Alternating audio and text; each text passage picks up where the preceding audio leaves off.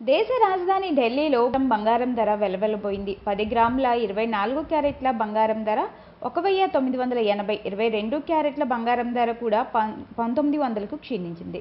దీంతో పసిటి రేటు వరుసగా యాభై వేలకు నలభై ఐదు వేల ఏడు వందల యాభైకు తగ్గాయి.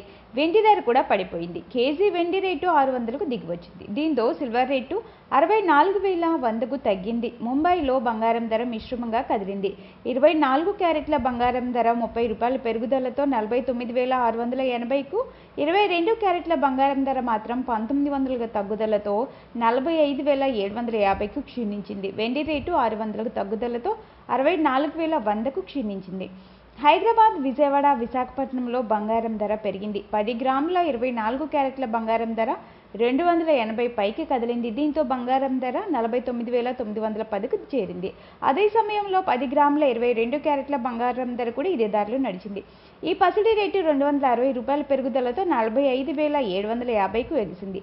బంగారం ధర పెరిగితే వెండి రేటు మాత్రం దిగొచ్చింది. కేజీ వెండి ధర ఎనిమిది వందల తగ్గుదలతో అరవై ఎనిమిది వేల రెండు వందలకు క్షీణించింది. మరోవైపు అంతర్జాతీయ మార్కెట్లో బంగారం ధర తగ్గింది. ఔన్స్కు సున్నా పాయింట్ రెండు తొమ్మిది శాతం దిగివచ్చింది. దీంతో పసిడి రేట్ ఔన్స్కు ఒక వెయ్యి ఎనిమిది వందల నలభై ఏడు డాలర్లకు క్షీణించింది. వెండి కూడా వెలవెలబోయింది. వెండి ధర ఔన్స్కు సున్నా పాయింట్ మూడు తొమ్మిది శాతం క్షీణితతో ఇరవై మూడు పాయింట్ ఎనిమిది సున్నా డాలర్లకు తగ్గింది. కాగా గోల్డ్ రేట్పై ప్రభావం చూపే అంశాలు చాలానే ఉన్నాయి. అంతర్జాతీయ మార్కెట్ పసిడి ధరల మార్పు కేంద్ర బ్యాంకుల వద్ద ఉన్న బంగారం నిల్వలు వాటి వడ్డీ రేట్లు జ్యువెలరీ మార్కెట్ భౌగోళిక ఉద్రిక్తతలు వాణిజ్య యుద్ధాలు బాండ్ డీల్ వంటి పలు అంశాలు పసిడి రేట్పై ప్రభావం చూపుతాయని గమనించాలి ఇకపోతే పైన పేర్కొన్న బంగారం వెండి ధరలకు వస్తు సేవల పన్ను జీఎస్టీ ఇతర పన్నుల తయారీ ఛార్జీలు వంటివి జత చేయలేదు.